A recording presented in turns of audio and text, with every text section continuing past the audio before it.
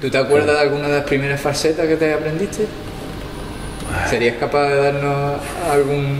Hombre, yo me acuerdo de lo que... primero, de lo primero? A ver, yo de lo primero la sevillana que me puso Manolo Ferrer, pero bueno, la sevillana eh, que la sigo yo poniendo.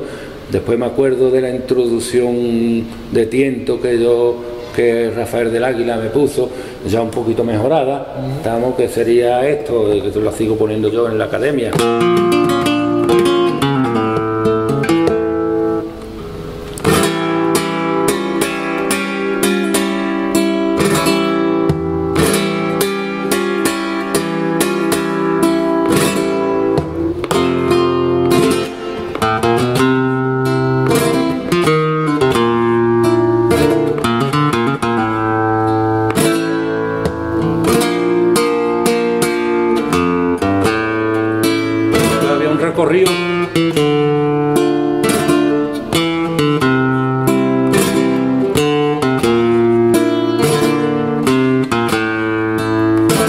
Sobre eso lo- lógicamente lógicamente yo esto esto no se empleaba cuando Rafael ni los tonos de paso ni los tonos de paso los partis tan Los pronunciados. tonos de paso cuando empezaron a incorporarse.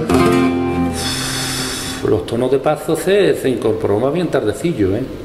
Así no tampoco era antes era Paco. Sí, a, a través de Paco. Ah.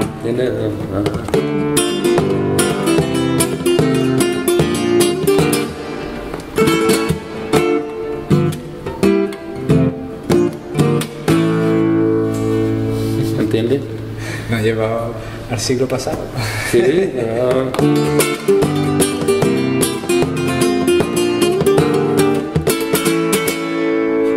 Y ahí se cuece todo.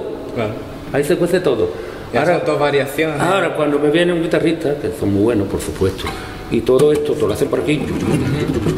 Bueno, ¿y y para qué? Si, si suena bien. Ver. La inquietud de explorar, yo tengo esa misma inquietud. Tú también, ¿no? Yo siempre estoy buscando. si aquí. hay, hay si- que haber otro acorde. Si está aquí, mira. ah.